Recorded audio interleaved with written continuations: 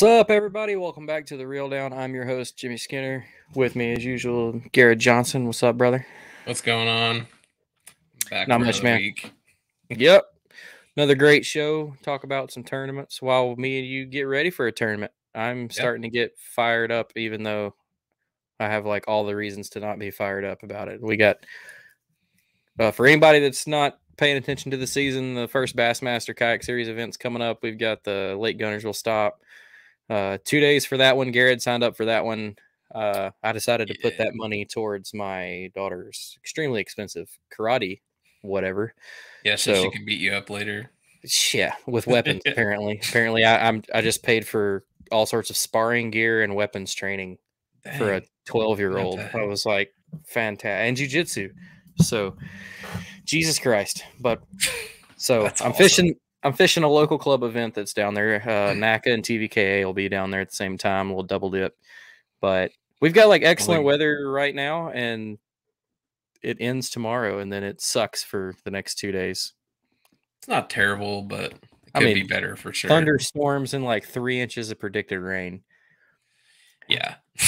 And then uh it's definitely gonna shake up a little bit. yeah, it's gonna suck. I would just like to I would I would love to start a tournament one morning and not have to wear my rain gear and you know it not be freezing outside. I think during the tournament you won't have to, but it'll be cold. I, I hope not. sure. but uh I'm actually I think I'm taking off tomorrow. I think I'm going down there. I gotta go I gotta go buy some some material for a job in the morning, but I do believe that the kayak and all my gear is going with me to do that, and then I'm going at least get on the water in the good weather and look Yeah, around again. Come out with uh, all uh 300 people or whatever's gonna be out there this weekend. So that'll be Yeah. fun. I'm curious to go down there and just see how many people's pre-fishing right now because I'm sure it's Probably 100 hectic. or 150 or so. there were a bunch say. of people Sunday, like a Yeah. bunch of people. So, uh, But it- anyways, it's a big lake. So yeah, it'll be fun. Yeah. Well, uh, so In the uh, meantime, yeah, we got uh we got Lake Murray to talk about. and I don't Um, know anything about this lake, like including like I knew where it was. I had to like double take on that to make sure. Yeah, But like five minutes ago. yeah, this is just Uh, not one that's ever been on my radar, even though it fishes really, really well. Well, yeah, we talk you should about put it on your year. radar. Man, my, my radar's fucking packed, dude. I got too many. Kind of an interesting lake from when I was looking at it. It looks kind of like it looks like it should be a lowland reservoir, but it's like almost 200 foot deep by the dam. So it's- Jesus. and it's only at like 300 elevation or something like that. So that that's why it's not on my radar. That's just not. I can't fish that stuff. but I, I think I've been to one Highland Reservoir, and it's Dale Hollow, and Dale Hollow can but I don't know if it fishes like a highland. We'll talk to these guys about it here. Yeah, no, bit, these but- these dudes we've got on are definitely the experts. Uh, the event was the KBF. Uh, their second stop, they went straight from Florida up here. Uh, another one of their, you know, their style two day events for anybody that uh, maybe just be new to keeping up with all this. Um, where most of your national trails run a two day consecutive combination tournament. KBF does two individual days, a Saturday and Sunday tournament that are separate, and you can pay in and do a what they are now calling a double up. So it's basically a two day tournament as well. Um, so without without any further ado, we'll bring in the uh, day one winner and the double up winner, Casey Reed, and the day two winner, Ryan Matlowit. Matt, say your last name. Matalevich. Oh wow, I was way off. Mm, sorry, butchered. yeah, we're gonna put you back in grammar school or something. I'm from Alabama. That's not even worth the time. It wouldn't matter. What's going on, fellas? Not much, man. How are you? Man, we making it. Everybody get back from the Yeah, From man, the, just uh, hanging out. Heck yeah. Everybody get back from uh from the Carolinas okay? Yep, I came uh, back from South Carolina, drove almost halfway, stayed in a hotel back to Pennsylvania where I'm from, and then uh, woke up this morning and shoveled 85 sidewalks for a bunch of old people. Oh, gotta get back right right back to it. Yeah, sounds like a lot of fun. Yeah.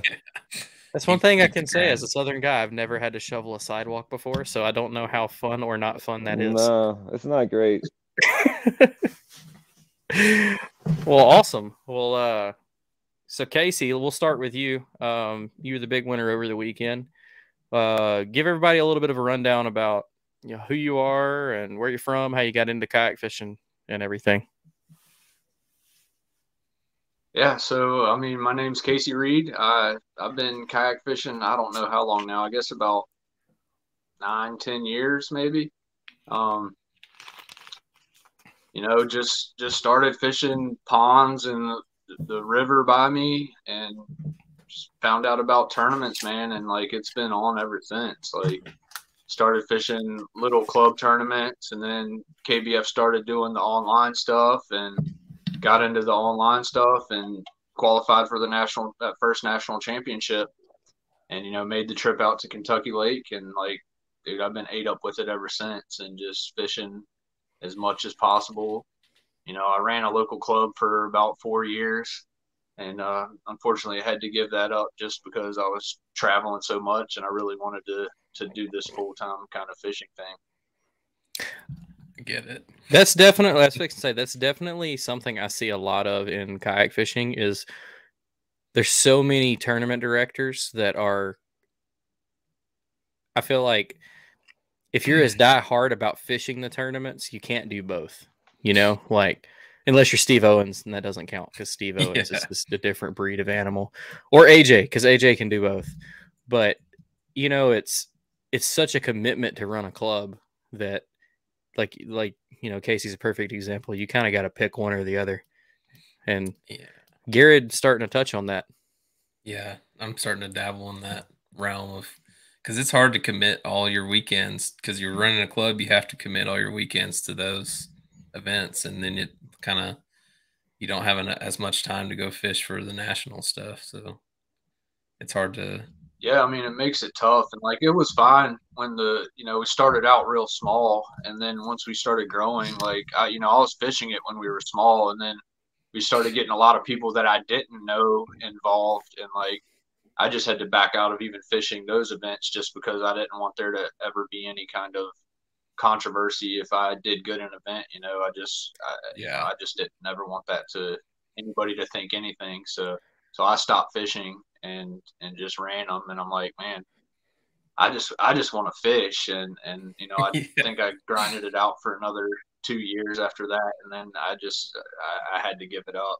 But um, you know, hopefully one day I'll I'll run another event or two. I, I got some good ideas for some big events, but I just haven't been able to put everything together yet. Yeah.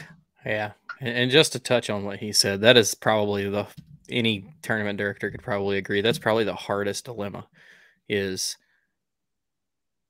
even when you don't fish the event for what he said, you know, you don't want anybody thinking anything about it. So you don't fish the events, but it's still like plays in your head all the time. Like they could have done good in an area I already knew about. And then it's like, well, God, now I don't want to go back there because you know somebody will start some stuff, you know. Start questioning like, how'd you find out about the spot? And all that. Exactly. Yeah. And some folks just don't like to hear that their spot's common knowledge. Like, Yeah. be like, no, bro, your spot's not anything secret. You're probably the last one to know. You just did good there. But it is. It's a it's a fun battle. No, it's not fun at all, but it's a battle. Well, uh, Ryan, Yep. your turn, man. Tell the world uh who you are, where you're from, how you got how you got in it, and how the uh wallpaper of checks came to be. Yeah, so I would say probably five, six years ago, something like that, I started kayak fishing. Um, my name is Ryan Matalevich. I'm from northeastern Pennsylvania. So um, I actually committed to fishing a lot because pretty much everything around us is trash. So, I mean, I know a lot of y'all heard about the Wallenpaupack, and that's about the best thing we got around us. So, Yeah. um, yeah, so I, I mean, it, we're fortunate. We're only a couple hours from like upstate New York, so we got like Cayuga and uh, Lake George is only a little ways away, and then we have um, Ontario, obviously. So um, even being in PA, I'm still closer to Ontario in- and all the upstate New York stuff than like Erie, which is a a longer haul.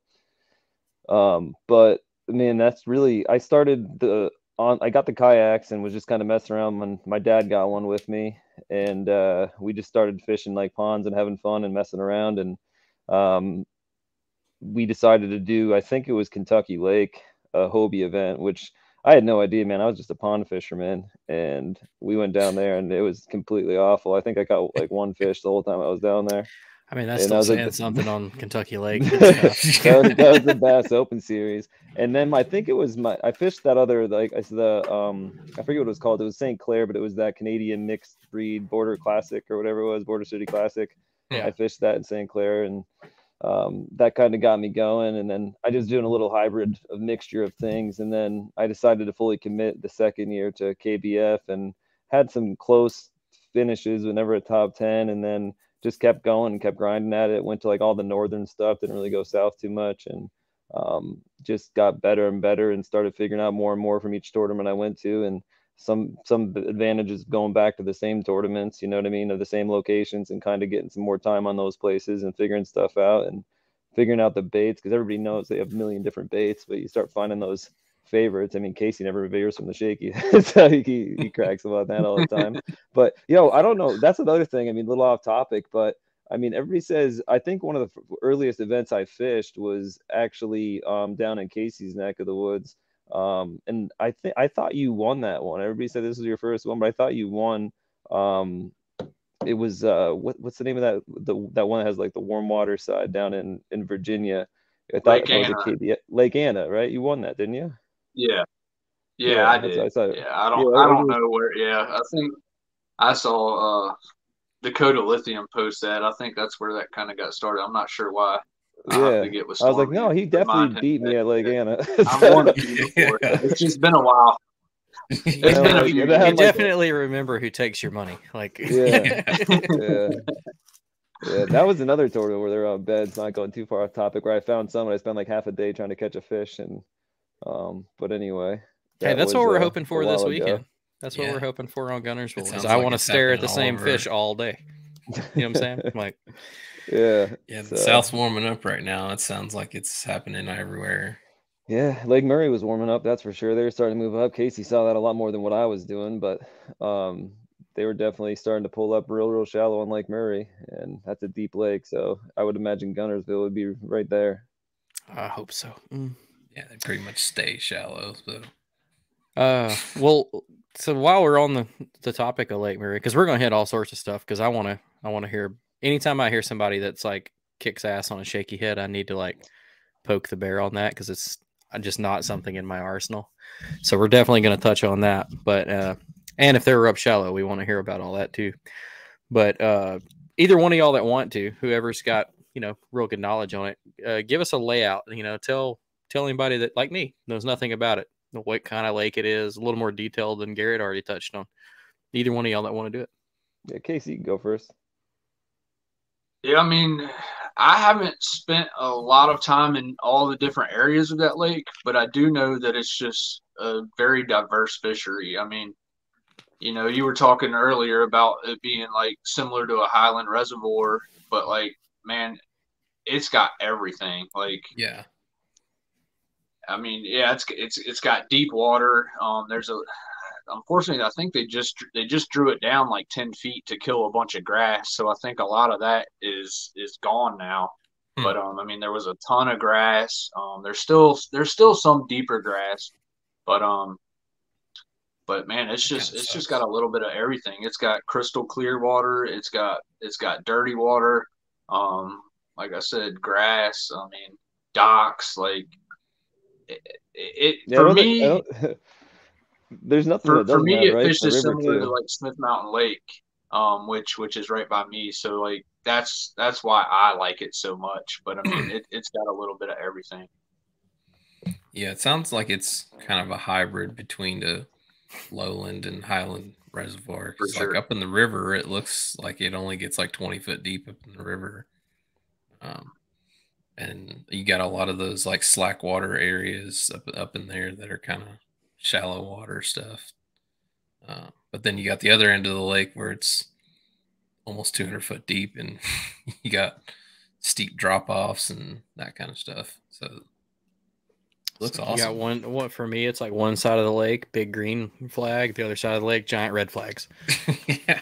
You'd be able to you would be able to guess where I would be just by sounds Yeah. of it. But there's there's like the current section too, right? So there's like all three. Like literally, there's like the fast water, like the like you can go to like the headwaters kind of deal, like right at the dam, and then like there's the river up the end of there. I never went up that far, and then you get into the middle mix, and you have like the dirty water type, like backwater slick calm, like back bays. It has like some lay down structure and wood with all kinds of little fingers going everywhere.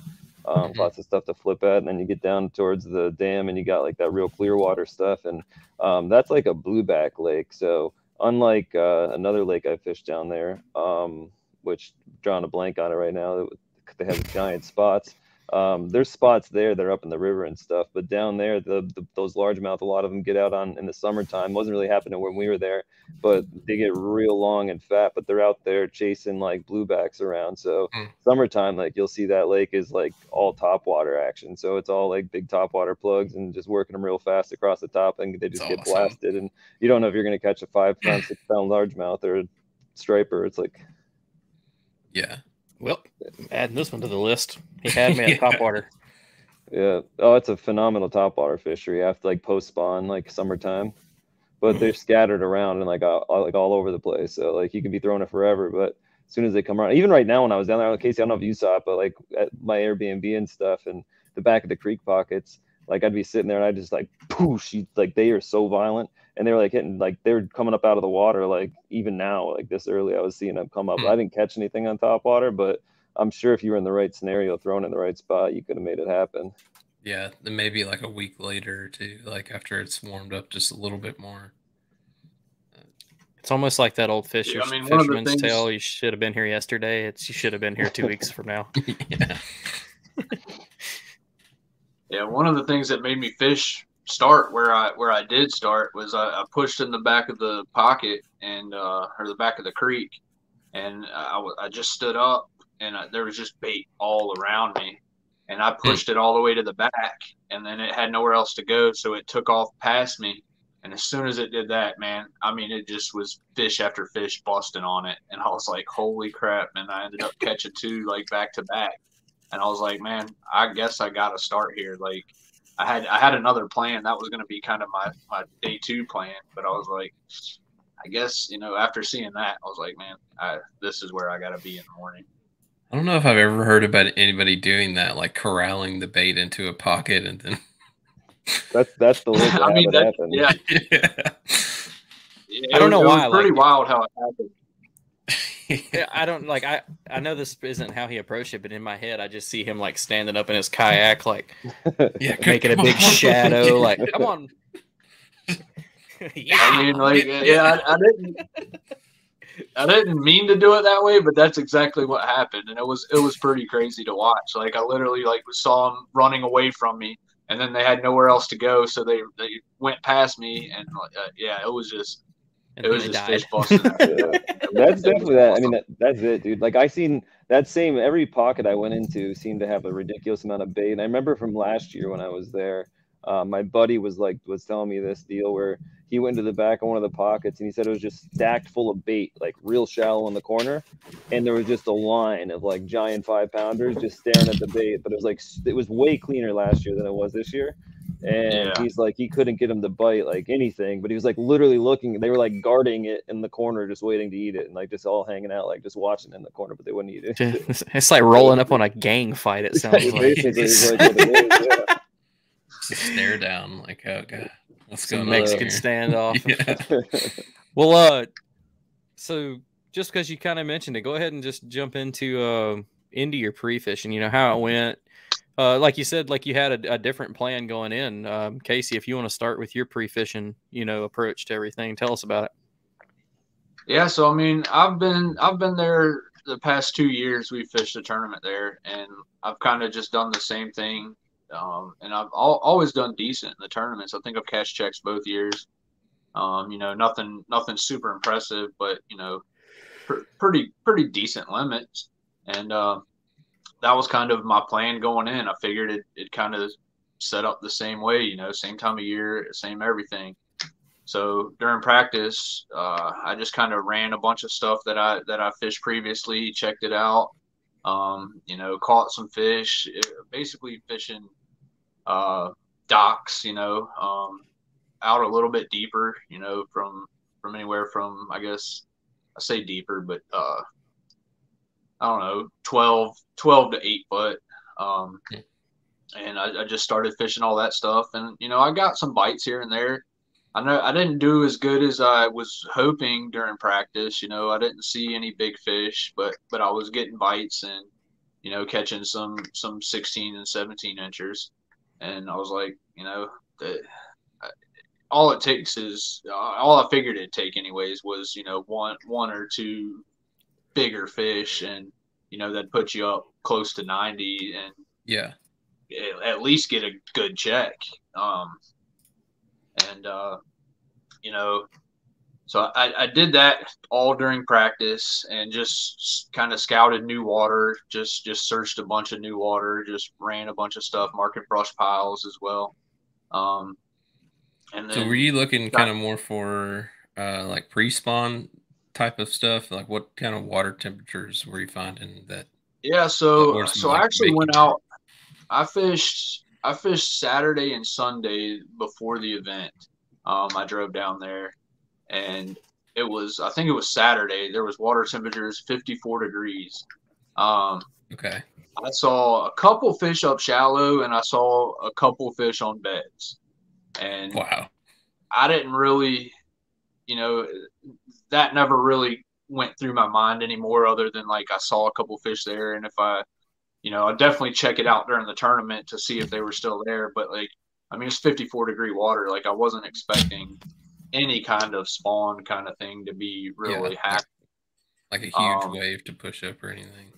Yeah, but you know, I, I I went back to work and then I, I went back down and and practiced again for uh, Thursday and Friday. And Friday, it, it ended up getting, I mean, it got up to 85 degrees. I think it, I don't remember. It got really warm. The water temperature was up in like 67. I think is the highest Holy I saw, crap. 67 or 68. and I, I still wasn't really thinking. I did see a few more beds and stuff, but I didn't see a ton of fish up shallow. Um, granted, I wasn't really looking uh, Yeah. up super shallow either. But um, I had I had went back in one of these pockets, and it was getting close to the end of practice, and I was just kind of just really messing around, and I just flipped up next to they call it the bank grass down there. I don't know what it is, but um, Hmm. flipped up next to the grass, and and I got a bite, and I was trying not to set the hook on on much many fish that day, so so I didn't set the hook and then I pulled, you know, I got my worm back and I and I threw back over there again, and well, to a, to another spot and got another bite like ten feet away. So I'm like, Wow.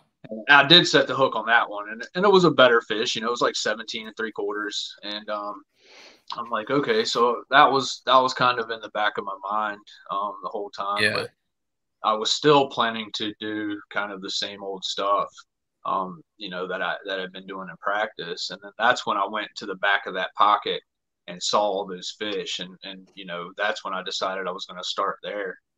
Well, come come first thing tournament morning, you know, we got we got a freaking ton of rain that night. Um I go back there that morning and it's just freaking nothing but mud. And I was I was seeing fish on the live and seeing all the bait still back there, but I just couldn't get anything to bite. So I went right back to where I got those two bites in practice and threw over there, caught one, threw over there again, caught another one. And they were better fish, you know, they were I, I don't remember they were 17 or 18 or something.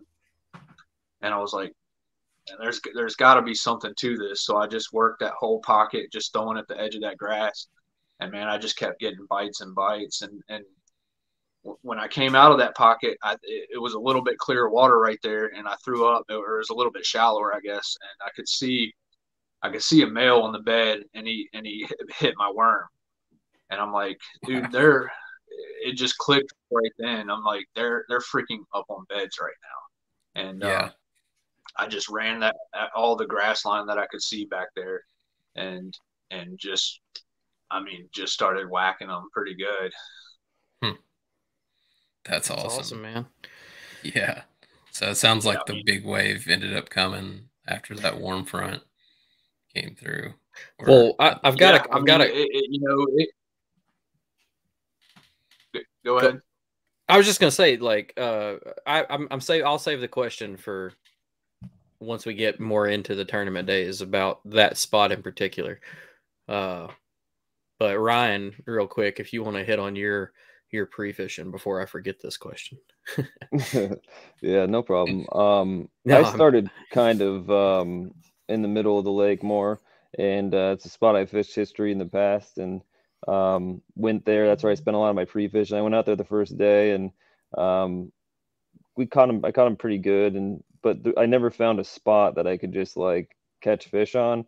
So I was covering like a ton of different water, and there'd be like one here, then another hundred yards, and I find one, and like I just couldn't find a spot where I could get multiple bites like in one one time, and it was just inconsistent stuff. Which, um, for those that do know me, I'm more of like an electronics fisherman, and like I kind of like to know that my fish are like know that I can catch them and know that I'm in like a, a consistent spot. I have a hard time fishing for five bite kind of thing, um, but uh, I was catching fish, but not like I wanted to. Spent like my whole pre trying to expand on the area that I was used to, but um, that's where I ended up going on day one of the tournament. And during pre-fishing, I hammered a big one. It was like seven and three quarter pounds. It was 23 and a half inches. Um, Jeez. and then uh, I'm like, all right, well, this is what, like I tried a couple different things, and I really didn't find anything that I liked better. And I said, well, I guess this is kind of where I'm going to go. Uh, I did well here in the past, and it's a very vast spot where there's like a lot of water to cover. There's not, it's not like tight pockets. It's like more main lake features. So like when you're running from like points and marking brush piles and little spots where you're finding fish, I mean, you've hit one spot and then you got like a 30 minute, 20 minute run to the next spot. So like you can eat up your tournament day pretty quick if you get caught up on a spot too long. And uh, that's what I ended up doing. I had a good couple bites first thing on Saturday. Um, I think I ended up with like 74 inches for four fish. Um, my fifth fish I had that was like 17 and a half, 18. I mean, I, obviously we're guessing, right? But it came up out of the water. Like I was, it was, I was on a spinning reel and my net, I was rotating between like three different rods and I had my net placed bad in my kayak and I, it was like underneath my other rod. So then I grabbed, like, I'm like, oh, it's not that big, whatever. So I went to flip it in the boat with the spinning rod, it hit the side of the kayak and shook the hook and swam away. And that was, that would have been enough to get me like probably in like 94, 93, 94 inches for the day. I'm like that. And I'm like, no big deal. I'll catch another one, and it never happened. Never caught the other fish. So that When was you were- Saturday. When when you were talking about like in, in your pre fishing kind of searching, when when you were having to run around because you you know weren't finding like one area that was kind of Mhm. loaded up, were you at least finding a pattern where it was like same bait, you know, like yeah, yeah. like jigs on a brush pile, but like the same thing you were just having to run Yeah, and hit the same thing everywhere. yeah, the like the rumor mill goes around everything during pre-fish and stuff. Everybody's hammering on crankbaits and chatterbaits. And that's always what seems to be going down. And that just I'm just not that guy. Kind of, it just never happens for me that way. So, um, I caught like all my fish, and I mean, I caught them on drop shots. I caught them on small shaky heads. I caught them on like 10 inch shaky heads. I Hmm. caught them on literally um five different variations of worms. Really, I didn't I didn't really catch them on I got one on a jerk bait that was like 1975 um, that I got offshore. I thought that was like, oh, I got fired up on that. I'm like, all right, I seen one chasing bait, caught on a jerk bait. I'm like, this is my thing. I can catch him out here doing this. And then I spent like another half of the day and I never got another bite. um, so I'm like, well, Hold on, this it's has clicked bad. for me. You had 73 and three quarter inches with four fish. yeah, That's insane. yeah. So Yeah, that fifth one would have been huge for you. Yeah, which it definitely would have gave me a better overall weekend. So, um, but anyway, things happen, you know, and uh, I got kind of a little frazzled by it. My dad finished well. He ended up, I think, in like 11th or 12th Yeah. place. I was going to ask um, you if that was you know day. dad or brother. Yeah, that was my dad. He did pretty well that day. Um, and he was doing the opposite of like kind of I found out after what I was doing. He was like up shallow fishing, and I was uh, still off offshore. And I think it was it's that weird like temperamental spot, right? Because you got fish that are out deep and fish that are up shallow, and in between, and it's like you like kind of. That's why like I mentioned I did like a hybrid pattern, and I was fishing like main lake like points, right? Because we had that cold front come in, and it's worked for me in the past. I was fishing like little rock piles and brush piles on like main lake points, and I was getting fish to bite doing that. And then the docks can be really good um, when the fish push up, but that cold front usually will kind of keep them away. He turned out that he was fishing docks and he was catching them, and I just didn't really see anything happening on the dock. So I spent Mm. way more time offshore, and I was looking for brush piles, and I had some marks, but again, they were very far and few between. And like I'd keep running from point to point, but they were so far away to do in a in a kayak that it was just pretty challenging. I mean, I was gonna Um, say, like, if you if you're somebody that likes to fish points, this lake has got plenty of options. Yes. Like, if you've never looked at this lake on a map, folks, go ahead and pull it up. You could you could fish this place for months out of a kayak and not hit every good looking point on this thing. I mean, they No. they all are like they look like textbook when you're learning about like main lake points, secondary points. This lake has Yep. thousands of them. like it's Yeah. insane. Oh, there's it's loaded with points, and I mean it's just got rock piles on them, and man, they look Yeah. good. I've I've Hmm. fished them before, and I've I've never been able to do really good on them um, this time of year. I, I feel like that really good bite is a little bit earlier in the year, and but, Yeah. but Yeah. They're still out colder there, but it's temperatures and stuff. but and the, the other thing about Yeah. the lake is that I mentioned the striper and stuff, right? So like the like the live sonar can like bite you there because there's so many different fish swimming around that you're trying to mess with and get the bite and stuff Yeah. that like it's not all bass, so it, it can be a challenge of like identification of what it is and what you're fishing for and what's there and what's not there, and um, you can kind of get used to what they how they act and respond. But I mean that the big one of the biggest fish I caught was uh, in like 23 feet of water, 24 feet of water and it was suspended up only five foot down. And I'm like, oh, it's definitely a striper. I just saw a big mark coming across the screen. I literally threw something on top of it. It fallen right down the bottom and bit it. It was like a like a 22 inch fish. So and that was that wasn't the biggest one I caught, but it was one another big one. And I'm Yeah. like, this is ridiculous. Like so, and that same thing I caught him on the jerk bait, but then I couldn't replicate that, you know. And then I'd get another one to bite and it'd be a striper. I'm like, man, this is this is just kind of tough. So anyway, day to tell the two difference between them. the day two that I did well was complete surprise to me because, uh, like Casey, like I mentioned to him, it was uh, significantly dirtier this year than it was in the past years. And I like the clear water better. I'm not a dirty water guy. I'm like a big, I'll be in the clearest water of the lake every time. Um, and uh, I, I said, well, like I got to get closer to the dam, I guess, to find some water. And I ended up looking around at some other launches and stuff. And I ended up going up closer to like the clear water because I was up the lake quite a bit, and I just wanted Mhm. to move closer to the dam, and that's what I did. And I just got towards a little bit of clear waters. It was a place I never even fished before, and I think on these kind of lakes, it typically helps me because a lot of times I'll go out pre-fishing and I'll do way better than I do after I go to try to replicate it, whether I beat the fish up or hit the same fish or whatever. And uh, I never saw this area. I kind of just looked at it on a actually one of our contacts at Old Town um, sent me a link with like a, a trial for a, a new app that's basically what was what I'm trying to think what the what is the name of it? It's the um, the one boat network app. It's basically the Humminbird. yeah, Yeah. the Humminbird app. Yep. Yeah. Yep, and I got that, and I started looking around on it, and I was like playing with the trial. Actually, the, the after the first night of the tournament, and I was looking around at some different maps and trying stuff out and trying to see. Like I said, oh well, this looks good. This looks like a lot of the stuff I'm fishing, but a lot more condensed into one spot. Um, so I said, whatever. Like I it's real hard for me to leave this because I know there's good good fish here, but I'm gonna send it, you know. And it was, I that's what I did. I went to this spot. I launched out there, and uh, I didn't even know I had a couple things I looked at that I started on on the map from the night before, and um, it went there, and it turned out right off the bat I caught a 1975, and then I had another one that was probably like just as big, if not bigger, and it came off on me like right next to the same spot. It was on a rod, and it got like over my shoulder, and like it was just in a bad spot. It was on a spinning rod, and I was all hooked, tangled up weird, and the kayak was facing the wrong direction, and it was kind of like one of those weird casts that I probably should have Yeah. better lined up for and it came off and I was like, damn man. And I said, whatever, shook it off and kept just running around the, the lake, going to the different stuff that I kind of marked. And what's so nice about that is the, the app that helped me mark this stuff is that one Burt boat network app is basically like what people most know is like Navionics and the chart viewer. It has all that, but with the Humminbird maps and it has also like all the rock piles and all the different stuff you can see and you can drop waypoints on it right through your phones. Like I could just pull my phone up and start running waypoints off stuff that I looked at because you can scroll around all the time and like look at stuff and have but if you don't actually have like the waypoints and mark the little spots that you want to look at, it's just a really convenient, nice feature. So That's um, pretty cool.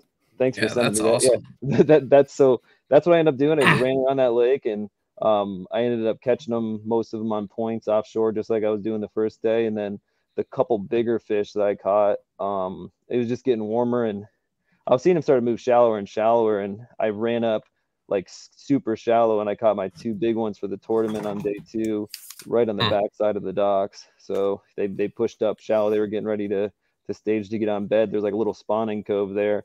And it was Yeah. like the first dock coming out of deep water right before the spawning cove. And they kind of set up on it. And two docks back to back, I got a 20 and then a 1975. God, I just That's need that kind of luck one day, just one day. Yeah. But I definitely wasn't crushing them. Like I didn't, I probably had eight fish on day two. So like I didn't, I just they were the right ones. ones. So Yeah. yeah. That's all that matters sometimes. So, you know, back back to Casey to expand on. So you you know you you killed it on day one. Um, I mean you killed it on day two. Uh, you, you were talking about you know sticking to this area, you know, fishing this grass line. Like how how big of an area are you talking about? Like just general size. I mean, it's pretty big. Um, it's it's the back of a big creek arm. Um, I didn't know, like the first day, I made it maybe a quarter of the way out, and you know I was just catching fish the whole time basically. So like, it, seemed like once I got further out, the fish started getting a little bit smaller. Um, and then and fewer and far between. I didn't know if that was a timing thing. I, I didn't know exactly what it was, you know. And again, that first day, I couldn't really, I couldn't see many of the fish on beds, but but I knew they were there. Um, you know, so I really didn't know what to expect going into day two because, like, you know, after doing, I, I burned myself a lot of times going to this back to the same area doing the same things, and um, I just it was just so good. I, I had to at least go through it. So my plan was on day two to do the exact same thing, but maybe just like kind of move through it a little quicker and get to some newer water a little bit faster in the day. And Yeah. um, like I started out, the, the fish weren't quite as big that morning, you know, still catching some decent fish and, uh, you know, put up, put up a respectable limit and then, you know, kind of just kept upgrading from there. But, you know, the, the good thing about the next day was that water really, I mean, it still wasn't clear, clear, but like I could see, see the beds. I could see the fish. Um, I, I spooked so many of them and, you know, I, I sat there and, and sight fished for, for quite a few. I had found one the day before that I that I couldn't catch, and um and I went back to it and ended up catching it, and and that was kind of at the end of my run um that first day. So I just kind of continued on from there, and you know kept seeing fish and, and sitting there messing with them, and, until I could get them to bite. And you know by by the end of the day, I, I had worked probably more than halfway out of that creek arm and uh and started you know well i actually came across it, it was actually pretty cool how it worked it was like i guess it was like the last 30 minutes of the day 20 minutes you know left to fish and I, just got I just got an upgrade. I think it was a 17. I think I still must have had like a 16 or something on the board. Um, I can't remember exactly, but but um, I, I come across this this bed and it's got it's got a male and female sitting on it, and I mean the female looked to me to be like 21 or something. You know, it was it was Jeez. 20 or 21, and then uh, you know the male looked to be about 17 something, and I I, I went right over top of them before I saw them, and then you know they kind of ran away, and I think like now it's like well, it was 15 minutes left, and um, like okay, so I, I went and fished fished up a little bit, and then I was like, all right, turned around and came back, made a long cast over there, nothing, and I kind of just like eased up on it, and I saw the male still sitting there, and I mean I was I was standing up on my seat at this point in my autopilot, and I just Yeah. dropped straight down onto it, and it freaking hits it and I just set the hook, and it was this like 17 something, an- another upgrade, And I'm like, okay, Yeah. like this is freaking awesome. So I was like, I, I, at that point, I was torn. I was like, man, I know there's a big fish there. You know, there's like 10 minutes left. What, like, what, am- do I move away for five minutes, wait for that female to come back? What do I do? In my head, I'm like, no, just keep moving. You've, you've already found like three or four fish right in this line. So I just kept moving down the bank and I just happened to random cast to a dock in between going, going around the docks and, uh, friggin' 20, 20 and a quarter, I guess it was just smashes it. Seven minutes left to go. I get a picture, and you know that that was a that was a four four inch upgrade for me just about. And uh, Jeez. I didn't know at the time, but yeah, it moved me into second place. And I dude, when that fish hit, because I, I had a couple 19s that day, but you know I had a 20 and a 21 the day before, and I, you know I needed something like that, and it just Yeah. that one just was like pure luck. like it was it was completely different than what I had been doing and just like that one random cast, you know. So, touching on uh, when when you were catching them before you could really see them, you know, day one, and, and this for both of you because y'all were both fishing so so different. Um, what was the bite like? Was it highly aggressive, more of a mush mouth thing where you could just one minute feel your bait and the next minute just you know that weight on the end of it?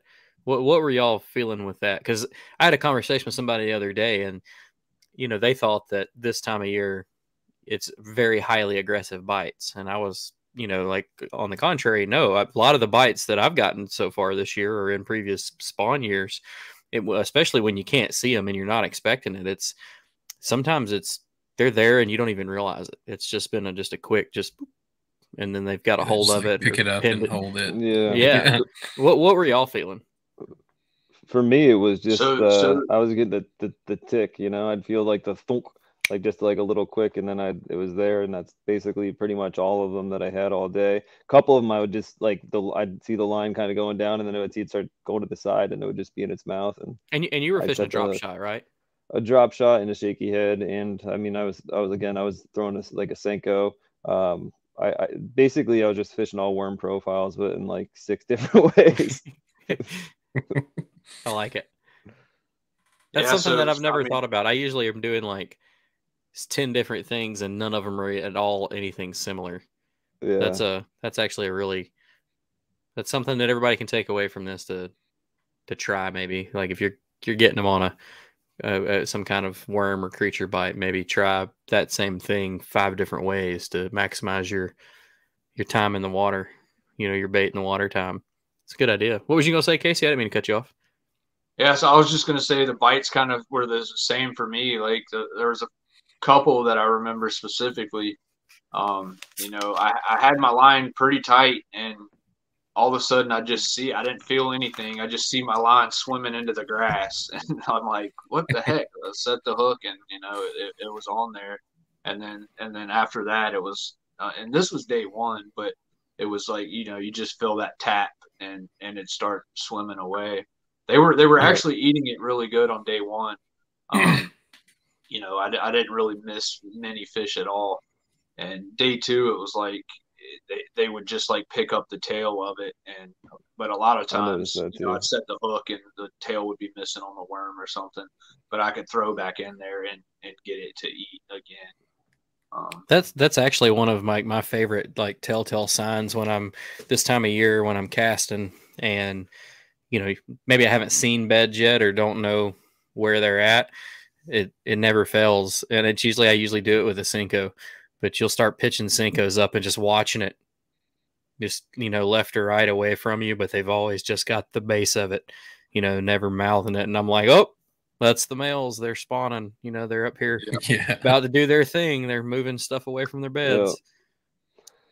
Then I get all giddy and excited and pull Yeah. out a frog because that makes sense. the the bites maybe not be were, were not like super aggressive, but again, I, I'm I'm sure they were they were for the guys throwing like the chatterbaits and the crankbaits from what I've heard. Oh yeah, Um, but uh, they fought very very good. Like they were really really strong fighting fish down there. Um, I don't know if it's because the ones I was catching are like the shad chasers that are out in the main lake constantly running they like almost like roaming but like all day. yeah, but those fish, man, I I was so blessed on day two to be able to land those fish. It, it's just unbelievable, man. Like, cause I the the two big ones I caught, I was on um I was fishing with like 10 pound sunline, like fluorocarbon. I mean, with like I had a braid like F or the SX1 braid on it with just like a 10 pound fluorocarbon leader. And mm-hmm. uh, I was fishing around docks, right, which is scary with big fish. yeah. Um, and a couple of them, man, they literally just took off like rockets. They were in between the other one. There was a bass boat fishing right down for me in the one spot, and he was like watching me. He's like, "You need a net, buddy." like, no, man. and then I was like, I, I ended up like grabbing it with my hand because it was in between like six different dock posts, and I was like laying on my back, like floating underneath the dock in my kayak, trying to get it out underneath the dock, and ended up grabbing it, you know. And I let out a couple like an Ellie screams when I caught that one.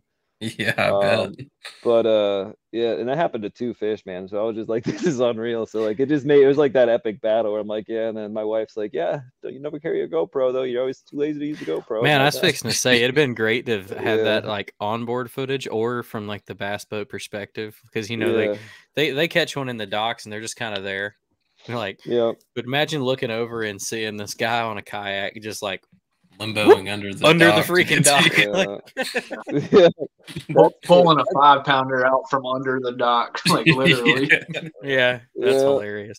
But dude, the, the thing is on that, man, like people don't realize from a kayak perspective, right? Like I in my mind, like I'm real into like I love like I, I use NRX pluses, which are pricey, but like that feel, man, that parabolic rod, like it's just so and Casey can relate to it in a sense with um, having a spinning rod in a kayak, like it just gives you like such an advantage that people don't realize that like when you get a fish right to the kayak, right, and the rod's loading up, like it can take off and run and bounce and give you time to like lean on it and net it. If you have like a stiff, stiff bait caster and you get that fish like right to the thing, like yeah, you can catch them on it. But if you're not planning on trying to flip it right into the kayak and you're messing around with that net, that rod unloads so fast that that like hook can just pop off in like a split second and I just feel so much more comfortable landing those like bigger fish when when there's no obstructions or anything.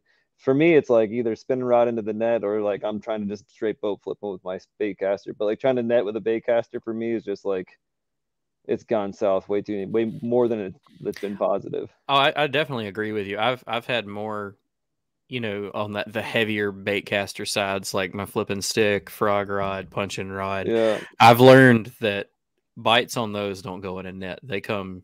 Yeah. I will break that rod in half, getting that fish in the boat yeah. before I you, try that net. guaranteed, man. You have such a better chance, in my opinion, just flipping right in the boat. Most of the time, I'm flipping those heavier rods. I'm standing up in the kayak, and the benefit, like the autopilot, which Casey obviously runs too, is like standing up and like he's just so stable. It's like the most stable kayak I've ever been in, and I've been in a lot of different kayaks, and you just can like sit there and like bed fishing with it. If you have to do what he's doing, it's just like nothing's better. I mean, you have that motor down in the, the, the hole there. It's not like a big obstruction when you're getting up shallow. Um, it kicks up easy. You don't have to worry about ripping it off the front of your bow. And like you can stand up on your kayak, stand up on the seat. It's just and see perfectly and just kind of flip like you're like in a bass boat. And it's just it's an unbelievable fishing platform. For sure. Yeah, I think uh, several. Yeah, I mean, I, I, I wish the video I had was a little better.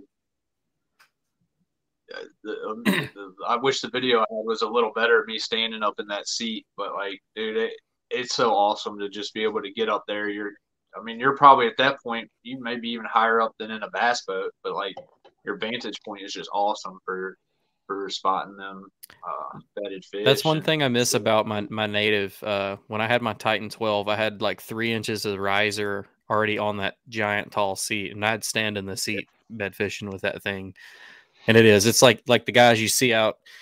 I can't remember where in the country they do it. I think it's on one of the Great Lakes, but they'll go set the ladders out like three foot oh, deep yeah. in the water, and you'll sit on top of the ladder. That's, that's what you feel like in these boats, in these yeah. the autopilots and the Titan standing in the seat. You feel like you're you, you know, it's like standing on a solo skiff up on the viewing platform, yeah. push pulling around. I actually stepped it up a little bit and did that. I, uh, my business partner, I told him what I was doing, and like I was like stepping on my seat, and I actually broke one of my my seats just from like jumping up and down on it a lot. Yeah. So I rigged it back together, and Old Town got me another one that I used for like most of the time. But I fixed my old one, and he actually took like a like a like a woodworking tabletop, like like like a coffee tabletop and bolted it and put like grip tape on the top of it and mounted it on the seat. And I actually Yeah, it's like a straight up casting platform. So actually, I I, I I, like used it. that I used Yeah. that at an event up north last year when it was a bed fishing tournament, and I literally was standing up and I was like higher than I am in my in my bass boat, when I was just like rolling across the top, and I could it was it was incredible being able to just move around and like bed fish with like my remote and like just literally just sit there and like flip through. It was it was Dude, ridiculous. that's awesome.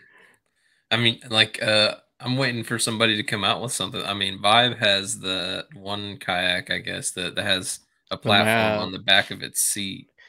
Yeah, Uh, the I can't think of it, but they do, Uh, and it actually. the- You say what you want about that kayak. I think it's completely crap, but that little Sheer fold water? down, Is that what yeah, it that's it. Yeah. The fold down seat to the standing platform is actually really stable. It was a really cool idea. Yeah, that's a I- cool idea. Like, I, I feel like more. I, I thought the micro skiffs were going to that. take off um, with solo skiff and like, uh, oh god, uh, Robert Weicker. As Yeah. much as he was promoting those and doing real good in them, I really thought those were going to take off, and that's when we would see more of that like standing platform setup. But I don't know. Seems to be working. Standing in the old seats. Yes. I mean, for Yeah. for uh, some of you not so uh, talented woodworking guys out there, just take a two by ten and lay it across the seat. You'll be fine. But But, uh. So yeah, no, just kind of to recap though, man, y'all y'all had two, you know, excellent days out there. Casey's day one, 98 and a half inches, uh, a 21, a 20, and you know, handful of other really good fish. You know, fantastic. So you went back to the to the same area and you approached it the same way, and um, you know, was able to come out on day two with 93 and three quarters.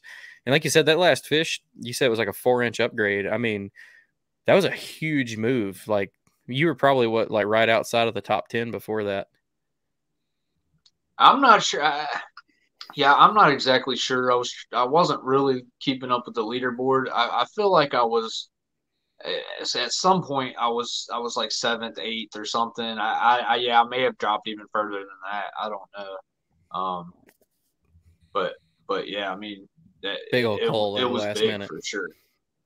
Yeah. and, and then ryan you know uh one thing i was going to ask you you know from your you had an excellent day one you know just shy of that one fish that would have really shaken everything up uh going into day two did you like learn your your like your mistake with your net and make sure that wasn't an issue well, I guess not because I lost that other one, but for a different stupid reason. But but uh, I still I was able to recover and catch enough fish. But no, I did. I started netting every fish then, and like I said, I got like almost like it was early in the day when I missed that fifth one, and I never think nothing came after that, and it was just um I, I really didn't think too much of it. And I was being quick, and I just wanted to move on to the next fish. like, oh, it's not a tank, whatever. I'm gonna flip it in, but it was still a quality 17, 18 inch fish, probably, you know. But it didn't look like one of those real giants, and I thought I'd be okay getting it in, and it wasn't that. It was just the, the hook. Like it was that one. I think was on a drop shot. So like when I pulled it up in, like it was just like the hook just bent out when it fell down in. But what what, size drop shot tight. hooks your preference? I just use I use like a 1.0 mosquito light is what I use. Um, yeah I, I like them small yeah, but I real real tiny one. Um, the owner makes the best one in the in the business, in my opinion. The 1.0 mosquito light by owner, and they're cheap. You can get like a 50 pack for a couple bucks, and they're just incredible hooks. And I mean, I've caught plenty of six pound small smallmouth, five pound smallmouth, giant largemouth, all on that little tiny hook. I mean, I, I have people all the time when they see me take out the like the little one O's or number ones. They're like, "That's too small of a hook." I mean, like, have you ever ever looked at fly fishermen? Yeah. Like, do you see what they catch with that little bitty hook? You shut up. This is gonna work. Okay, they work, man. That's for and it sure. does. Yeah, I'm the opposite. I I throw like a three aught, four aught on my drop shot, but I'm also Yeah. usually throwing a pretty big worm on there. But um, Yeah, Man, I use that one aught mosquito light on like the big robo worms. Like, it makes absolute Yeah. no sense. Even when I look at it, when I cast it out, I'm like, like you think of a Texas rig and like your your hook point and at the percentage down the bait, the hook point comes out. You're like, okay, the fish can only miss it by this much. And then you you throw a you know six and a half inch robo worm on a number one drop shot hook, and you're like, so this fish has 95 percent of a chance to screw this up for me, and Yeah. somehow they still eat it good. you know? those right ones just swallow it though, man. And they like, do. I, I like I'll go like I'll throw like on that one O mosquito light. Like I'll go up. I'll even throw like like six inch worms. Like you know, like I don't like seven inch worms. Like the like I'll go up that size and um nowhere to lot. It was a Kissimmee like last year, not this year. I didn't make it down. I was too busy with work. But my dad did pretty well down there the one day, and uh he was actually catching them on a one O mosquito light hook with a Zoom Ol' Monster on it. Holy cow! worm, just nose hooked with a one O hook, and he was What? pulling Just a fish wrecking after 'em. fish. Yeah, I'm and I was just try that. laughing. I'm like, this is unbelievable. Like, of course he does, because my buddies and I all laugh because my dad would like just come out with these random. I'm like, you're ridiculous. That's not gonna win. Then he'll start catching. them. like, unreal. yeah, I feel like that that would almost like the bait would just like fly off of that little hook. oh, you're Yeah. definitely out of probably more like lobbing that one Just than you are. it out yeah, there. just lobbing it in there. But no, I mean, so you don't need a giant hook to catch them. I mean, for me, the, the bigger hook sizes are like if you're fishing in around cover and docks, you might want something if you need to be able to muscle the fish out. Because a lot of times those little hooks, you're not getting like full penetration like through their lip, like their skin hooked inside the mouth, and and that's where that rod is so important. And that's why that Yeah. I I- I'm like a medium light guy on those like on my drop Yes. shot rods. And if you have anything like medium, medium heavy, and you have those little hooks, they'll rip out every time. Yeah. I agree. It's fun too because when you're throwing them on like medium, medium light, like the one pounder, you're like, oh, it's a five, it's a five. It's not. It's like twelve inches. Uh, But then, then you really know when you've got a good one because that poor little rod, like, Just doubled over. oh, dude, it takes every little bit of that It's rod to get that in. yeah, that's I mean, dude, I'll tell you, like I'm like I said, I'm I'm not the fishing around me is not the best, but I'm like three hours and I make multiple trips up to Ontario and I go up to the St. Lawrence and having that medium light in those like five and six pound smallmouth, like on that medium light, my bad last year I was up there and I had a I think it was a 27 and a half pound bag for five um smallmouth and they're all on like that medium light rod and dude it is unbelievable. And then like it gets to the point where like you laugh because of the tournament so it's all in perspective right where you're at like a 14 inch fish could be a huge one if you need that fifth fish and um up there like you get like threes and fours you're like oh it's a dink and you're boat flipping with the spinning rod, you know because like they're not like those giant fives and sixes but uh yeah it's just it's unreal up there doing that so um That's awesome. Well, great, great tournament, guys, and you know, congrats for uh, you know continuing to get the start of the year rolling around. Uh, well, what do y'all got next? Uh, I know me and Casey kind of talked before the show. Uh, what y'all's next event y'all got coming up? Yeah, Guntersville this weekend. Um, Whoop, Let's hopefully the weather turns a little bit better. Please. We'll see. I mean, we're gonna have a lot of rain Thursday and Friday, and then it'll cool off. And it looks like it's just gonna be sunny, bluebird skies, but 50 degrees Saturday and Sunday. So So it's like the worst possible post frontal. I know. What- what about can you, Ryan? I'm clear okay with water- that.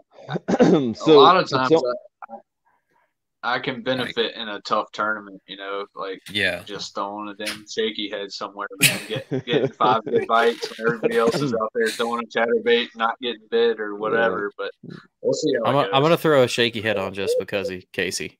yeah. Yeah. Uh, I don't want to be, I don't, I'm I don't want him gonna be the a- only one now. I, I'm gonna Casey- throw shaky head all weekend.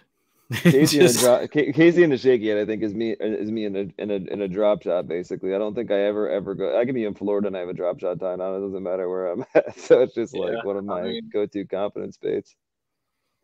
Drop I mean, drop shot for me too, man. But like the shaky head just just steps it up for the from the drop shot. But yeah, I, I always have a drop shot tied on as well. So I think I was reading so- something uh, last year about like how fifty percent of the tournaments or something are won, like major tournaments are won on a drop shot, or checks are cashed with drop shots. Like, Man, I had two really good years with it, and then it just like disappeared for me, and I it's like I forgot how to do it. It's so weird. I was I loved it for like two years, and then come the next spring, like I could not get bit on a drop shot, and now I still cannot make it happen consistently. I do not know what happened. I think that number might be growing because of uh, LiveScope too. Like Well, I mean, yeah. more tournament, more and more tournaments are being won on drop shots with LiveScope. Yeah, that's like, oh look, fish drop bait on them.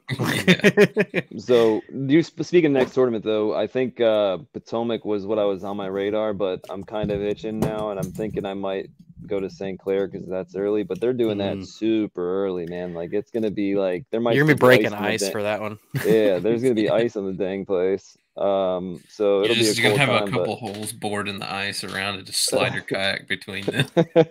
Have you ever fished it that early? I never fish it that early. No, I've been I fished it like two or three times, but never that early. I, I want to find somebody that's got some some knowledge on it that early, kind of leading up to that tournament, so we can talk about it because that's been a real question I've had. Is like, yeah, we know what those places do when their actual springtime and summertime roll around, but this tournament Yeah. again, it's early, and the weather in the country's been Yeah, you know holding out on the cold more than the the warm warming trend. So I, I'm really really curious to what you would have to do that early there. You know, I'm sure it's not anything close to how you would fish it in the spring. Because I, I mean, the water temps are going to have to be just ridiculously cold. they'll be in the low 40s, I would think. Ugh. You know what you do? You just stay home from that tournament. That's how Jimmy takes it.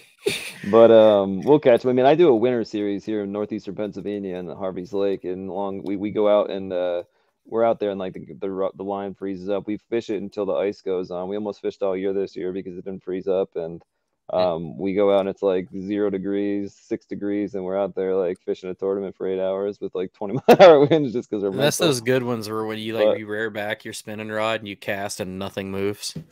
Yeah.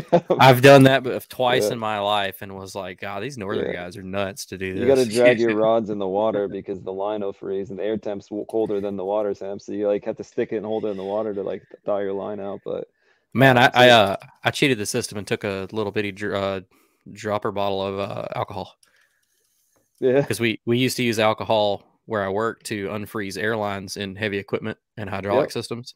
I do And- excavating, so I, I know what that's about. Yeah, yeah. So first first time I did the did a tournament when it was like that and everything froze up, I was like, oh, I got a fix for this. Next time they'd freeze up, tap all the eyes with a little alcohol, drop a little alcohol on the reel, no more problems. Well, at least for like two minutes. yeah. I don't know. I'd be But- worried that that would eat through my line a little bit. I never had any issues with it. I mean, it's, it's rubbing alcohol. It's not nothing, nothing crazy. yeah. yeah. So, but no, I just like to um just reach out and thank everybody. I mean, I, I mentioned the, the tournament, but um Old Town, like I mentioned, the autopilot was just spectacular. Between that, my Dakota lithium battery, because I was covering 10 miles a day pretty much, just running from spot to spot to spot. Um, that that new Dakota 135 amp hour battery is just like unbelievable. It's like small, as small as the 50, small as the 54 amp hour battery, but like it just runs forever. And uh, Wow. I have that, and I cover a ton of water with it, and um, that with that autopilot, and it's just with with how windy it was down there, and trying to fish those points to be able to actually like just hit spot lock and set up on spot and be able to actually sit and worry about fishing instead of kayak positioning. It's just incredible. So thanks to Old Town and and uh, Dakota Lithium for all that, and then obviously thank my wife for uh, letting me go to these fishing events while she stays home and holds the fort down. So she's pretty uh pretty special, and I thank her for that. And um, my my business partner, I said everyone, I actually run an excavating company, and uh, we do foundations, septic systems, like all kinds of land clearing jobs, and a lot of residential stuff. And in the wintertime, we have. Uh, I had to leave early for a tournament last year because we have like 160 townhouses that we service for snow removal, and Oh, uh, wow. so there's a lot of stuff going on and uh, he actually he steps up and helps me out a lot my partner joe so i thank him for for doing that while i'm out and away and having fun while he's busting his hump you know Good friend. What about you, Casey? Anybody you want to thank? Yeah, I mean, of course, Old Town. They've they've uh, been with me the longest, and you know, supported me every step of the way, and and they bend over backwards for for anything that I need. And I mean, I I I, I wouldn't be where I am now without them. Um, all the light keeps going out. Um, you know, Dakota Lithium. I, I run the same battery Ryan just mentioned. I mean, I, I keep that one and I keep a spare. I've actually killed that 135 amp before, you know, running like 15, 16 miles. But um, but yeah, luckily this time I, I, I didn't need my spare. But um, yeah, that 135 amp is a freaking beast, and uh, um, you know, Humminbird, Avco, uh, Minn Kota, uh, Sniper Marine, Fish USA, Cashion Fishing Rods, uh, Catch, um, and I'm uh, probably forgetting somebody, but uh, but I mean, I, I just I always try to tell people, you know, it, it, whether it's my sponsors or who, whoever sponsors it is, but like if, if you find something you like, just support that company. Those companies that are investing in in the anglers and the tournaments. Um, you, you got to support those companies because they're the ones that are that are going to end up putting more and more money into our sport. And um, Yeah. so Absolutely. Yeah, Yeah. that's a fantastic I, I point. I appreciate mean, the opportunity to, to to give everybody a shout out here. And, and Oh, yeah. I appreciate the interview. Yeah, man, we appreciate y'all y'all coming on, and appreciate you giving that. I mean, that's great advice. I too too many people come into this, you know, the sport's booming, and guys come into it and they see the fruits of other people's labors. You know, people like y'all with you know good sponsors, big names behind them, and they're like, I want that. You know, it's kayak fishing. It can't be hard to get that. You should give me that. I have an Instagram, you know, and it's not that. Like, don't don't support a company because they give you something. Support that company because you appreciate their stuff, and it'll eventually pay off for you.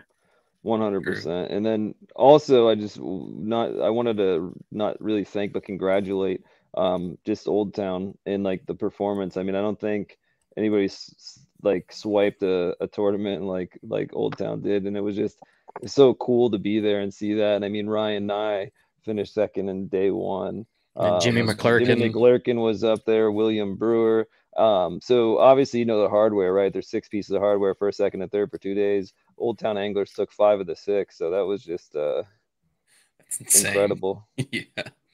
So are, is all those fishing out of the autopilots or is it all the kind of different crafts? Um, most of them are autopilots. I know Jimmy has a, a big water too. I don't know what he was using down there. Yeah. Um, and then uh, I'm not He's sure he's what got a fleet, running. man. There's no telling. Yeah, yeah. He brought five boats with him or something. it's hard to hard to get me out of the autopilot though. That's for sure. Man, I've Uh, I've only tried one for like an hour, and it's just not my thing for where I normally fish, just because of like like where I fish in Guntersville, that motor ain't gonna do you no good. You know what I'm saying? Like it's just too grassy, too shallow. But like I think from an offshore standpoint, it's probably one of the best options you can get. Like yeah. and again, I mean, I've never. I one thing I didn't try was you know popping the motor up and paddling one. You know, so Yeah, had- did they move pretty good through the water with the motor up? Yeah. I mean, they're big boat. Oh, Um, yeah. you, I mean, you you can move it, but it's not. I mean, it's not going to be like a light kayak. You know what I mean? To, to paddle around, especially if you have it all loaded down with gearing rods and everything. So, um, it, it'll it'll paddle, but it's you'll work at it. You know, um, I wouldn't want to do it all day.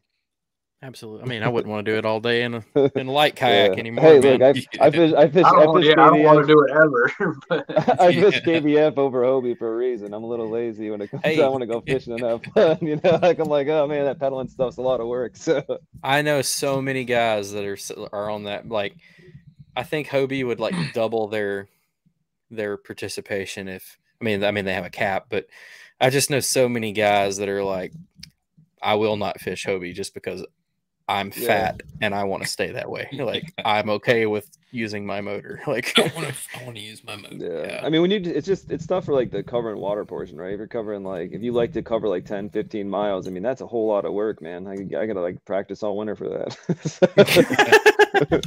Yeah, you better start uh, doing your cardio now. Do my, my winter hobby is cycling, so I can get ready for Yeah. fishing season. Well, that's awesome, guys, man. Well, we appreciate y'all coming on and, you know, great ambassadors of the sport. You know, we appreciate your stories and your input, insights on everything, and uh, names that we see at the top all the time. So it was great to, Ryan, have you back on and, and Casey to, to have you on since we don't remember if we've had you on. You don't remember? I swear we did, but I could be wrong. We talked to a lot of Hey people, man, but I'm uh, like I said, my memory sucks. So I can't remember what happened yesterday a lot of times. So, so Hey, yeah, this I'm is your first very event you won, right? Yeah, th- Well- thank you guys too, though, man. I mean, like you guys like mentioned a little earlier in the podcast, like you uh you, with the whole running a tournament trail piece and being able to fish. I mean, taking the time out of your guys' day to like do a podcast and put stuff out there. And I mean, you're you're like that company that's helping the sport out, right? You help give the anglers a platform to speak and give us time, and like that's we're really thankful for that. So I really appreciate you guys spending your time to have us on and talk about what we're doing. And um, I'm sure you guys are out there fishing just like we are, and I'm sure you're happy hammering them too. So it's just you, you take your time out of your day, and we really we really appreciate that. You know what I mean? So oh man, Thank no, you. I, Yeah, I good to hear, appreciate man. We we appreciate Yeah, that comment. Second that. Yeah, thanks guys. That's it's we always say it. Well, well, me and me and old Dan always used to say we don't do this for y'all. We do this for us. And he was he was referencing we do it because we get so much awesome information from you guys that we have on. We we get to talk to literally every top notch tournament angler in the country at any given time, and we get all sorts of great information out of you. But it is it's you know we, I mean, Paddle N' Fin's been around since before the podcasting boom in kayak fishing. We we're we're kind of the OG at it, you know, and it is. It's just that's what we're here for is just push the sport forward, get it to as many people. That's why, you know, for anybody that's listening to this that don't know we have other shows segments, we've got a segment in fishing for just about everybody. We have kayak hunting segments. So just we're just here for y'all. We're here to support, you know, kayaking as much as we can, kayak fishing, uh, these tournament guys that are trying to get to a point to make a living doing this. So uh, but again, we, we yeah, I was Go gonna ahead. say if you ever if you ever make it up north and you want to go up to Ontario, hit hit me up when you're up in the area. Like I said, we'll take you up and you'll you'll, you'll fall in love with the drop shot. I promise you that. man, I don't know if I'd come home. Like, If I'm ever throwing back three and four pound smallmouth because they just aren't the ticket, I have died of a massive stroke and went to heaven because that's that's all that would feel like. that'll happen to you, especially September. September up there is special. It's cold and you got to watch the wind, but man, it is fire. Like it's it's unreal. All right, I'm canceling my beach trip this year. I'm going to Ontario instead. Yeah. I'm going northbound. Well, guys, we appreciate it so much, and thank y'all again for taking the time out to come hang out with us and uh, talk about it. And uh, you know, I'm sure we'll see you again. We we try and keep up with everybody throughout the year, so hopefully we'll have you back on for the years over with, man. So good luck Yeah. at y'all's next events, and we'll see you then. Yeah, Yeah, I hope good. so. Thank you. Appreciate it, guys. Good Thank luck at y'all. your event too at Guntersville. Ah, we Yes, appreciate sir. it. We're gonna need all the help we can get. Yeah, we'll see you there, uh, Casey. Hopefully. Uh, Yeah, hope, hope to see you there. Yeah. Awesome, guys. Well, y'all have a good night. We'll see you soon. Yeah, you too. Thanks, guys. Take care. Appreciate it. Awesome. I love it. Yeah, I love it. that's good stuff. It is. Uh, that's a that that would look like it was an awesome event. I mean, they had Yeah, tons of twenty inch fish, nineteen to twenty inch fish all over the place. Eighteen Yeah. to twenty inch fish too. Like and it was it was it's crazy to see old town stacking the leaderboard up like that um you know we've seen it you know go through periods where it seems like everybody that was winning was in a hobie and then i know something. new like you know the NuCanoe guys ran the train in the kbf for a while and and Yeah. the hobie cody milton when he was in his pursuit you know you couldn't stop him for a little while derek brundle and matthew conant um, they all have it but uh, i don't think any of them have been as dominant as what old town did this weekend and i don't care what any it doesn't matter which national trail it was that it happened in one Yeah. one company, five sponsored anglers, and one manufacturer took home five of the six pieces of hardware. So Well, didn't isn't the last didn't Ryan Nye that was didn't he win the last KBF trail? Yeah. and he's also in an Old yeah, Town. old old town showing out. Yeah, They've got it where it counts. Yeah, But uh, yeah, so another great event. Definitely puts Lake Murray. This I know we've done Lake Murray shows before, but this one, talking to these guys, put it more on my radar than talking with As any of the other should, yeah. past. Yeah, I was looking at their. You're gonna hear a lot about Lake Murray this year. I mean, I was looking at their tournament schedule, and I think they have the MLF Pro Series circuits going there. The Bassmaster Elites are going there. They got like the BFLs, are. I mean, they got BFLs going there too. So and all sorts of stuff. Yeah, So they're they're gonna have all kinds of good big events. Well, I'm definitely gonna have to year. to keep it on the radar and uh you know maybe go dabble that way i know we've got some some uh friends of the Paddle N' Fin world out there might have to go bum a couch bum a spare bedroom yeah. that's another great thing about doing this podcast you'll learn Garrad is we will eventually have a place to stay everywhere Yeah. like when i saw susky got thrown back on the board hit up sean said hey i'm first dibs on spare room in your house and he was like you so bam ain't got to pay for nothing on that trip Now it sounds like we gotta make a trip to Ontario or something. That That one's been on my radar for a while. I just don't talk about it. We had it Yeah. on the Ontario Kayak Bass Club, I think is the club that's up there. Mhm. Um, it was awesome. It was a fully Canadian show. If you love how Oh, wow. Canadians talk, I did my greatest job of not sounding like that or mimicking that at all. I was very professional and very proud of myself. But we got talking about the fishing up there, and that was like what opened my eyes to the waters up that way. You know, before then I was like, they don't they don't they don't fish for bass and up there. Like you cross the border, they fish for trout. Like that's it, you know, just like trout and salmon. Like but uh you, you could argue that they have some of the best bass fishing in the country at certain at certain times of the year. for sure. That's, I mean, they're throwing back four pound smallmouth. yeah, Second that's to nothing. But uh, just just another quick recap as as everybody's heard already. We'll just hit it again. Casey Reed with the day one win and the two day double up win. Ryan with the day two win. Big shout out to our teammate, mine and your teammate Jimmy McClurkin. Uh, Sure. He had a really good show in Fourth place day one, eighth place day two, and got second place in the uh, double up. So congrats, Jimmy. Good job, man. And uh, I do have a few tournaments to go over.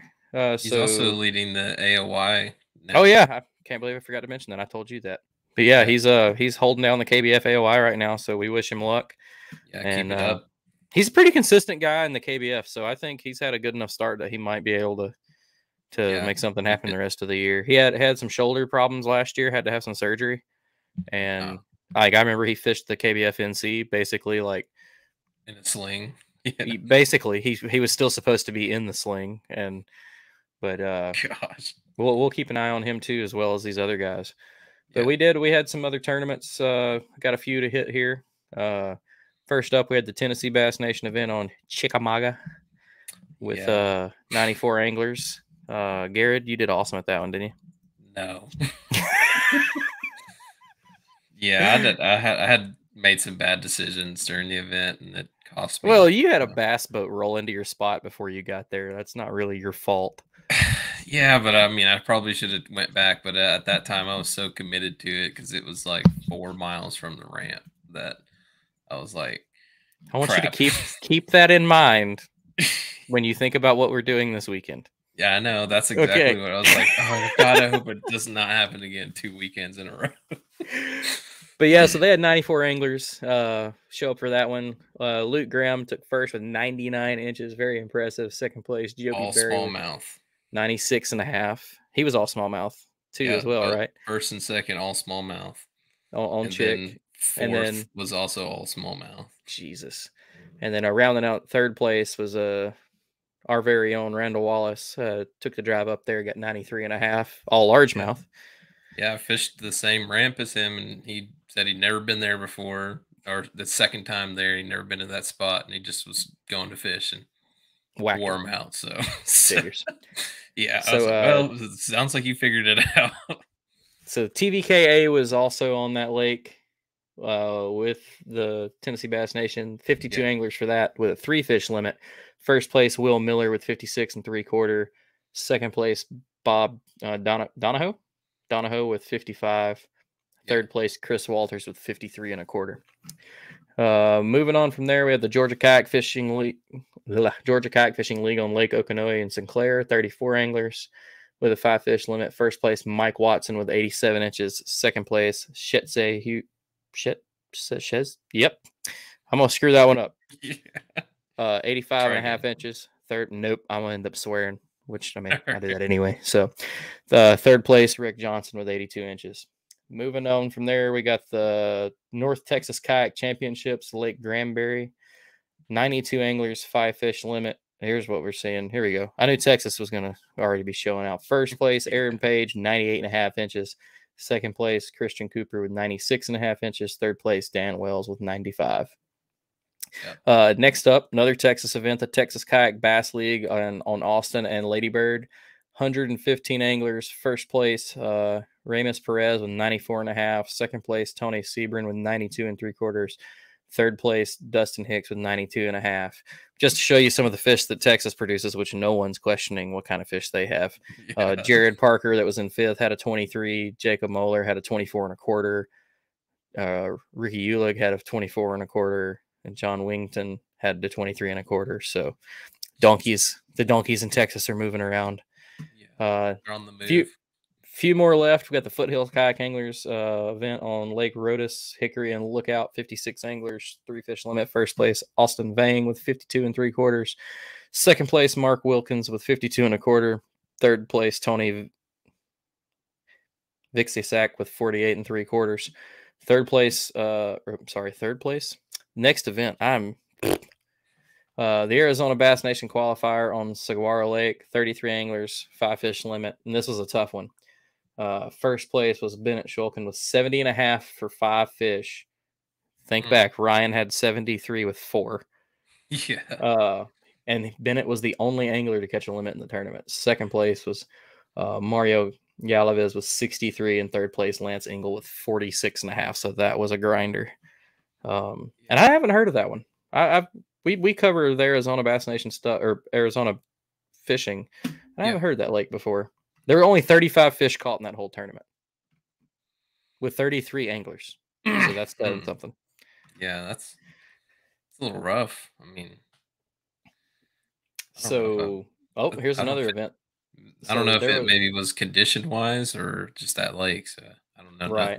that lake. But Uh, so there was another event out there, the Kayak Anglers Association of Central Arizona, same lake, had 45 anglers with five fish uh, limit.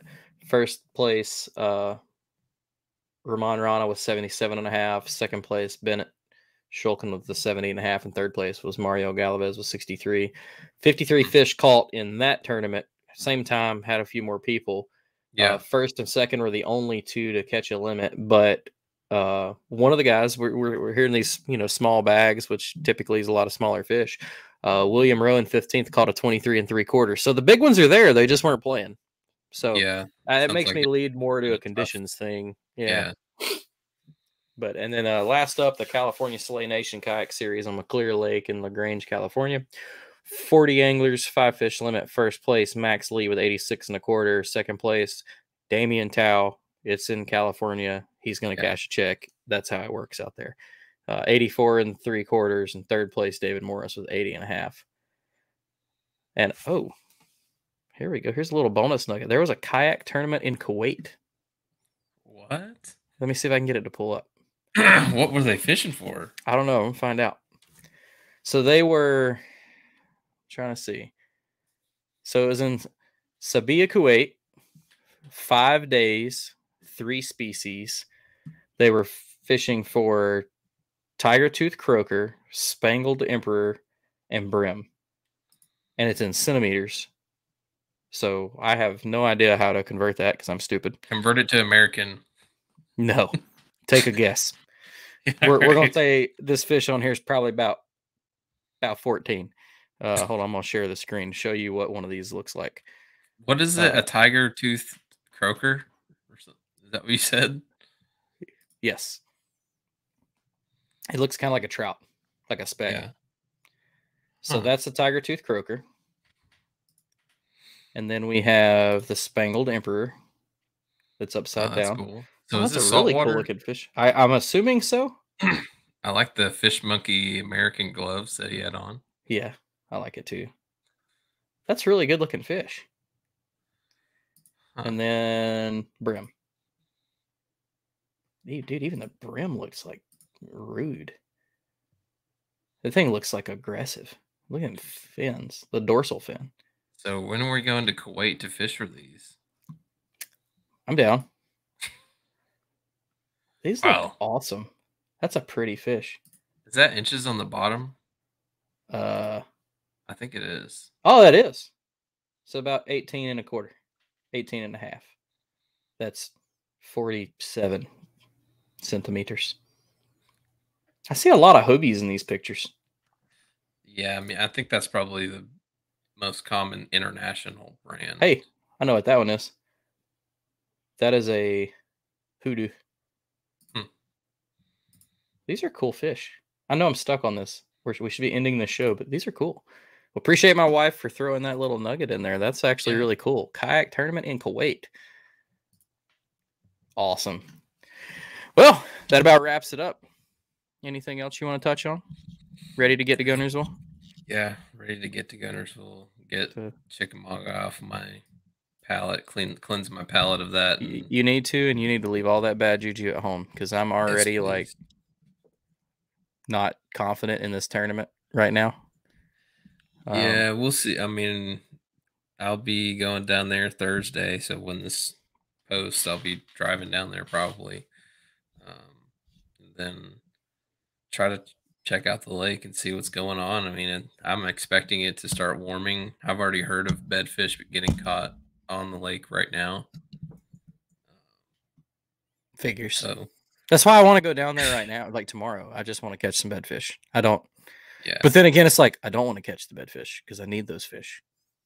I mean, we can go to another spot that's not where we're gonna fish and go catch bedfish. I mean, we could go back to where I went Sunday because I know a lot of folks are going to fish that. We'll just go out there and Yeah, just let's whack, just whack, go whack, whack, solo whack, whack, whack. Yep. Yeah. Go catch as many as possible. For anybody that listens to the show, if you see here. me, yeah, if anybody listens to the show, if you see me out there, please don't kick my ass. I'm totally talking shit. I'm not going to come sore lip anybody's fish. And I'm too old to fight fair. I'm just going to shoot you in the kneecap. So it probably wouldn't work out well for you if you plan on pedaling in that tournament. But uh, yeah, another good show. Thanks everybody for tuning in to this show. Uh, great one with uh, the winners from Lake Murray. Another great KBF event next week. Uh, you know, you can probably guess it. We're going to cover the winners from the Bassmaster event. 235 anglers signed up for that one. And then there's a local tournament that's up to 55 on it. And probably only 10 people of that tournament, maybe 15 are in the Bassmaster. So they'll be they'll be pushing 260, 265 anglers just in kayaks, uh, tournament fishing gunners this week. So we'll have a good show for you next week. Uh, but yeah, till then, peace out. We'll see you next time. Yeah. Good night.